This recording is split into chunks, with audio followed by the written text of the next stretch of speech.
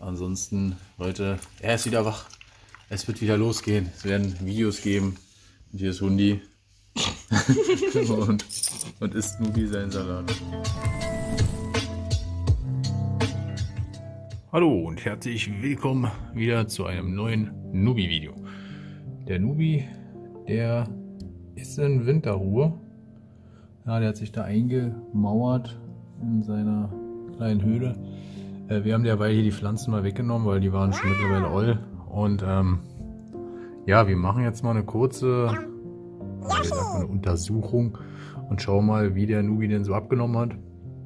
Ob wir den jetzt langsam mal aufwecken sollten oder ob wir den jetzt noch weiter schlafen lassen dann. Ähm, also quasi einfach mal so ein Zwischencheck, weil bringt uns ja nichts, wenn nach drei Monaten, nach weiteren, sage ich jetzt mal zwei Monaten noch, der Kleine immer mehr abmagert und dann irgendwann auch stirbt und dann nicht durchkommt. Das ist doof, das wollen wir nicht und deswegen machen wir jetzt einen Zwischencheck. Einfach mal gucken, wie der Kleine so drauf ist. Ich halte jetzt auch nicht extrem krass in die Höhle rein, weil der liegt ja noch ein bisschen weiter hinten. Von daher, der kriegt das jetzt so nicht in die Augen, das Licht. Von daher ist alles gut. Gut, na dann schauen wir mal, wie wir den jetzt am besten rauskriegen. Und dann geht's so weiter. Also Nubi, Nubi lebt noch. Der hat gerade sein Bein weggezogen. Wir fanden es jetzt am besten, mit dem Löffel irgendwie unter ihn dann zu greifen und ihn dann rauszuziehen.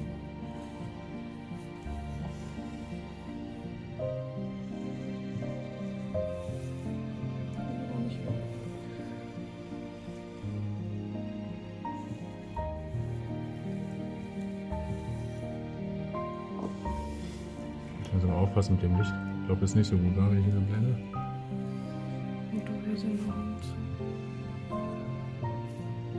Nubi. Guck dir auch den Augen. So, da ist er, der Nubi. Der ist noch ein bisschen starr, der muss noch wach werden. Ich habe jetzt auch das Licht ausgemacht, damit ich ihn jetzt nicht voll mit Licht da reinblende. In die Augen, also wenn die Quali jetzt ein bisschen schlechter ist, dann liegt es daran, dass er eben weniger beleuchtet ist. Ja, da ist er. Wir checken den jetzt nochmal aus, gucken uns den ein bisschen an. Und wenn alles gut ist, dann kann er noch weiter pennen. Ne? Ja, gut. So, da ist er. Jetzt checken wir mal die Ohren ab, ob da Parasiten drin sind oder Eier. Hallo. Irgendwas. Wir gucken uns die anderen Also Ohren an. abgenommen hat er nicht. Ja gut, der macht sich auch platt, aber der sieht jetzt nicht aus, dass er abgenommen hat. Nee. Kannst du ja mal ein bisschen drehen, den Kleen. Genau nochmal in die Mundfalten reingucken. Oh, jetzt wird er wach. Am After, oder Kloake nennt man das ja. Seite ist nichts, nein. da hatte der ja damals schon die Parasiten. Heißt, das ist ganz gut. Der ist noch ziemlich steif. Ich kann es nicht biegen. Ich will ihm nicht wehtun. Okay. Gut, aber müsste mal sehen, das andere, die andere Seite. Okay, Ohr, sieht auch gut aus. Die Schnute, die Nasen, Nase ist frei. Ja. Ich krieg's nicht scharf. Ist frei, die Augen sind klar, nichts trüb. Sehr schön. Ja, Man bewegt sich mal nicht so hektisch. Mal ganz angenehm. und irgendwie unter den Armen, so an den Falten oder Achseln oder wie man da so sagt. Überall halt da, wo, wo sich was festsetzen könnte. Da gucken wir mal. Ja, sieht gesund aus. Okay. Willst du ihn mal nehmen? Nee, nee, wir machen die Sache kurz. Wir hauen ihn jetzt wieder rüber. Der kann jetzt noch Geh mal da in die Höhle. ein bisschen schlafen. Aber mach den mal lieber in die andere Höhle. Warum? Weil ich ihn da nicht mehr rauskriege. die andere ist wirklich besser.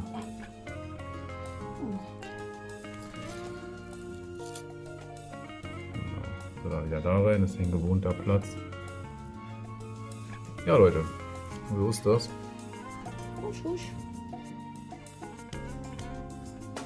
Das sieht ganz gut aus. Ne, soll ich jetzt wieder verkriechen, dann weiß ich nicht, dann lassen wir noch ein bisschen schlafen und jetzt werden wir dann so für einen Monat ungefähr oder anderthalb Monate kann man mal anfangen, wieder das Licht einzuschalten und die Wärmelampe, um dass er dann auch wieder wach wird. Okay. Wie gesagt, ansonsten noch kann man sagen, so eine Untersuchung oder mal so ein Zwischencheck ist schon wichtig, weil ich habe halt auch schon ein bisschen gelesen im Internet und da stand halt auch drin, dass eben viele Tiere auch ja eben zu abgemagert sind und die Leute, die lassen es dann eben, weil sie eben diese Checks machen und dann ist es halt schwierig, dass sie halt wieder ja, ins normale Leben finden, sage ich mal, und dann halt auch verenden könnten. Aber der Nubi, der sieht nur ganz gut aus. Also, der hat sich jetzt natürlich ein bisschen platt gemacht. Na gut. Dann war's das. Fürs Erste. Nachti. So, nicht, dass wir es noch vergessen. Ähm, die haben ihn jetzt gerade noch mal kurz gewogen. Da liegt er wieder.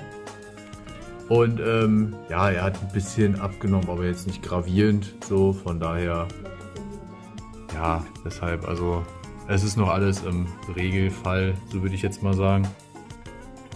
Und äh, ja, ich werde abgenommen, 2-3 Gramm oder so vielleicht. Ja, gut. So, ein wenig Zeit ist vergangen. Wir haben jetzt hier so um die 20 Grad müssten sein, genau. Und ähm, ich hatte jetzt immer nur hier die Deckenlampen jeweils eine Stunde angemacht. Ähm, jetzt habe ich aber schon angefangen, hier die Wärmelampe jeweils eine Stunde mit dazu anzumachen, um dass er sich erstmal so ein bisschen an die äh, Lichtstärke gewöhnt. Und jetzt habe ich halt dazu jetzt noch ein bisschen Wärme angemacht.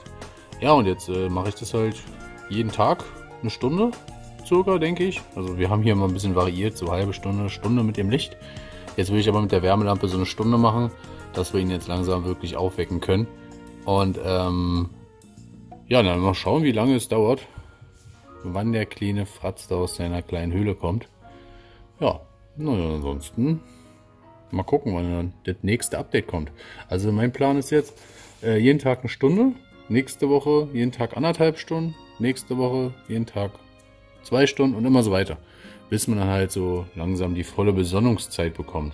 Vielleicht zum Schluss hin mache ich dann schon statt äh, vier Stunden dann schon fünf Stunden, also das dann schon auf zwei Stunden erhöhe. Ich denke mal, dann muss er ja vielleicht eh schon wach sein. Mal gucken, mal gucken, wie er sich da so verhält. Ich kann jetzt noch nicht so viel sagen. Machen wir spontan, schauen wir mal. Also ich lese natürlich auch noch ein bisschen, aber ja, steht halt kontinuierlich langsam halt die Besonnungszeit erhöhen. Ja, mal schauen, wie es dann ist, wenn, wenn man dann schon in der vierten Stunde ist, ne? Oder ab der dritten Stunde, ob man dann immer noch eine vier Stunden, fünf Stunden, sechs Stunden, sieben Stunden. Schauen wir mal. Juni? Schauen wir mal. Ja, du hast eine Mohrrübe. Sehr toll. Ja, Hundi hat eine Mohrrübe. Hundi hat eine Mohrrübe. Zeig dich doch mal. Da bist du. Okay, genug davon. Also, ja, gleich kommt ein Schnitt und dann seht ihr den späteren Verlauf. Hallo Nubi.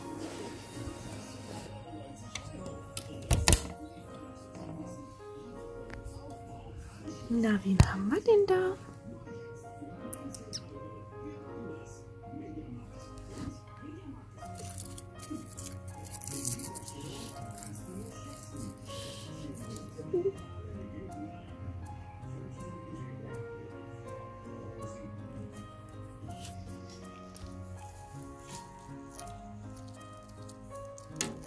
Ja, Leute, wie ihr seht, ist es langsam soweit. Der Nubi ist aus seinem Schläfchen erwacht. Aber auch mit ein bisschen Nachhelfen. Von daher, was hast du jetzt genau gemacht? Du hast jetzt einfach ihn nur mit einem Löffel rausgeholt. Nee, ich hab. Nein, ich habe vor ihm den Sand ein bisschen weggebuddelt. Davon ist er wach geworden. Und dann habe ich ihn am Fuß so berührt. Und dann ist er. Also hat er die Augen aufgemacht. Ähm, dann habe ich eigentlich nichts mehr gemacht. Und irgendwann hat er dann seinen Kopf angehoben. Na Mensch. Jetzt ist er paralysiert. Na, endlich ist er wach. Wie lange hat es jetzt gedauert? Seit wann waren wir kontinuierlich dran? Ich glaube, seit die letzte Woche im Januar oder so haben wir angefangen, ne? Hm, ja. Kann das sein? Muss ich nochmal von den Daten her vergleichen. Schreibe ich jetzt gleich nochmal Berichtigung, falls es zu berichtigen ist.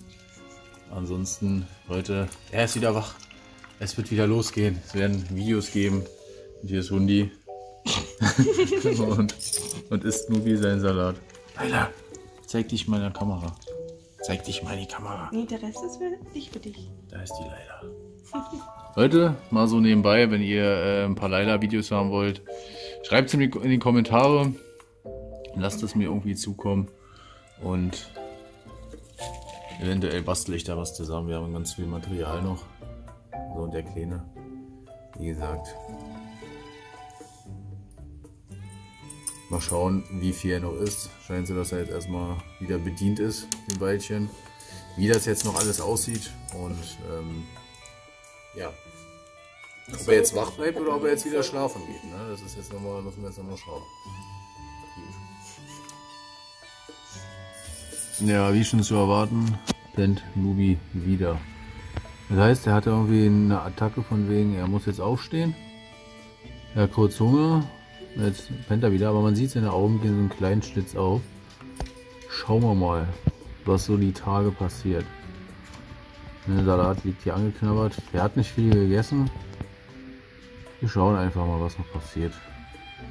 So Leute, wir haben den 23.02. Ich dachte mir, ich muss hier nochmal Licht heute anmachen, weil gestern haben wir vergessen Licht anzumachen. Wir machen das immer noch händisch, ohne Zeitschaltuhr. Ist nicht angeschlossen. Und der Kleine ist wach. Aber es ist halt immer noch so ein Rumgedöse. Mal Penta und mal nicht. Ähm, der lässt sich ganz schön Zeit wach werden. Ne? Also wir haben hier so ein bisschen provisorisch ein bisschen Salat reingehauen. Ähm, um dass er halt, wenn er Bock hat, sich was nehmen kann. Ich glaube, der wird jetzt auch nicht fressen. Das ist ihm hier ein bisschen, uh, ein bisschen zu stressig. Wahrscheinlich. Können wir testen. Komm! Nimm den Hubs. Nimm keinen Hubs, er guckt nur doof so von wegen, äh, was willst du denn hier? Ja. Der Kleine. Also Leute, ihr seht selber, er ist zwar schon wach, aber halt noch nicht so mobil. Ich hatte gerade überlegt gehabt, ob ich ihn vielleicht nochmal irgendwie aus der Höhle vertreibe. Mit dem Löffel der Löffel. Dass ich quasi so mit dem Löffel unter die Erde gehe und ihn dann so rausziehe. Dann habe ich ihn ja draußen, rein theoretisch. Und dann haue ich ihn einfach mal in die Sonne, dass er sich da so ein bisschen aufwärmt. Aber ich denke mir, nein, das ist gegen die Natur. Wenn er Bock hat rauszukommen, dann kommt er selber raus. Ich will ihn da irgendwie nicht so stressen. Wir haben es natürlich einmal schon mal so gemacht. Und erst daraufhin wurde er ja wach. Deswegen bin ich mir noch nicht so sicher, ob ich ihn jetzt selber noch wach werden lassen soll oder halt nicht. Ich sag mal, solange er Essen kommt, ist ja alles gut. So, und wie das nun so ist, ist Nubi doch aus seiner Höhle gekrochen. Äh, ich habe mir jetzt hier nochmal einen neuen frischen Salat geholt. Und werde jetzt nochmal testen, ob er was mag oder nicht. Nubi. Nupse. Nupse ist gestresst. Hier hat mir mal, mal jemand unter die Kommentare geschrieben, wenn die Bartagame ihre Augen zumachen, ähm, dann sind sie nicht entspannt, sondern halt auch gestresst. Das wurde mir gesagt in dem Part, wo ich ihn so auf den Kopf streichel. Es ist gut im Nachhinein sowas zu sehen oder gelesen zu haben. Weil Leute, nur so lernt man auch. Alles klar. Ja. So, und jetzt weiß. Weiß mir aber nicht in den Finger. Sehr gut. Der Kleine ist so langsam erwacht. Ich freue mich. Jetzt musst du aber auch mal abbeißen. Beiß ab. Gucken, ob er noch mehr isst. Ich lasse ihn erstmal noch mal ein bisschen runterschlucken. Weil doch schon ganz schön viel hat er gerade abgebissen. Die ganze Ecke fehlt.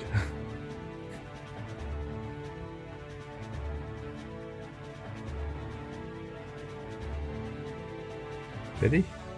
Nee, noch nicht, ne? Kleiner Dinosaurier. So. Ich habe den kleinen mal gerade eben genommen und hier mal ein bisschen in die Wärmelampe gemacht. Der ist noch voll kalt gewesen. Muss ich jetzt erstmal aufwärmen. Wie man sieht, mag der das gerade echt gern. Ich hätte ja gedacht, der, der irgendwie, der rennt nochmal weg, der hat Schiss oder so.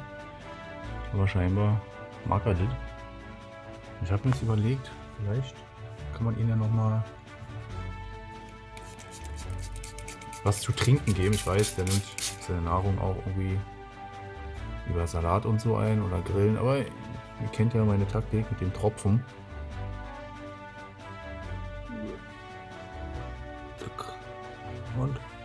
Da sieht man es. Er trinkt den Tropfen. Das ist mir jetzt wichtig, weil so weiß ich 100%, dass er, dass er was trinkt. Auch wenn es vielleicht ein bisschen doof ist oder ihr Reptilienmenschen da draußen sagt jetzt, bist du bescheuert? So was macht man doch nicht. Mit drei Schwinde unter Salat oder Grillen irgendwie sein Trinken nimmt. Aber ich bin ein sehr fürsorglicher kleiner Anubi-Besitzer und möchte mein kleines Tierchen jetzt was zu trinken bekommen. Und man sieht ja, er trinkt ja auch. Wenn er keinen Bock hat, dann würde er auch weggehen. Oder halt auch verweigern. Ne? ist halt auch oft so, dass wenn er dann keinen Bock mehr hat, dann lässt er halt einfach, ne? dann trinkt er nicht mehr. Jetzt habe ich das Gefühl, jetzt hat er auch genug. Jetzt höre ich auch auf. Aber ich bin mir sicher, er hat jetzt was getrunken. Er hat Flüssigkeit zu sich genommen. Salat hat er auch schon gegessen, auch wenn es nicht so viel war. Jetzt wärmt er sich unter der Lampe, ja, und wenn er halt Bock hat, dann kann er sich ja hier noch Salat wegnehmen. Ist ja jetzt nicht aus dem Terrarium draußen. Ja. Wie sieht's aus, kleiner Mann? Da bist du wieder unter den Lebenden. Wie lange hat er jetzt gepennt? Seit Oktober, glaube ich, ne? November, Oktober, nee Quatsch, November, Dezember, Januar, Februar, vier Monate. War der jetzt ein bisschen abwesend? Muss ja mal langsam reichen, oder?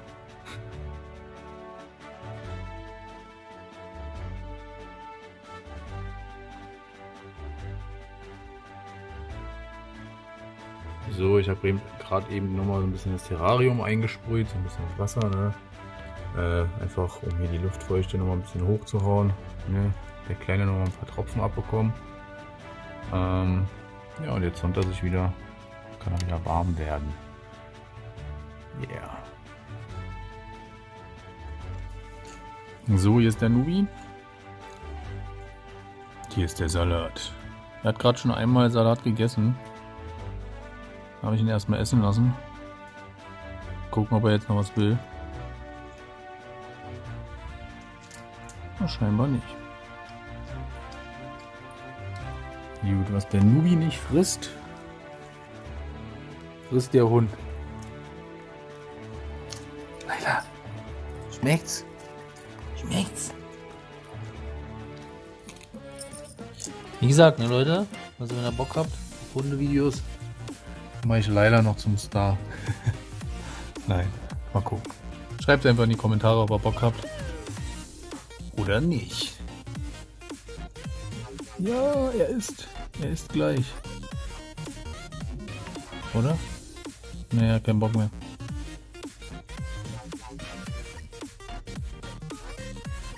Los, kleiner Mann. Ja, sein Hunger ist noch nicht so groß. Alter, was war das? Schnappattacke.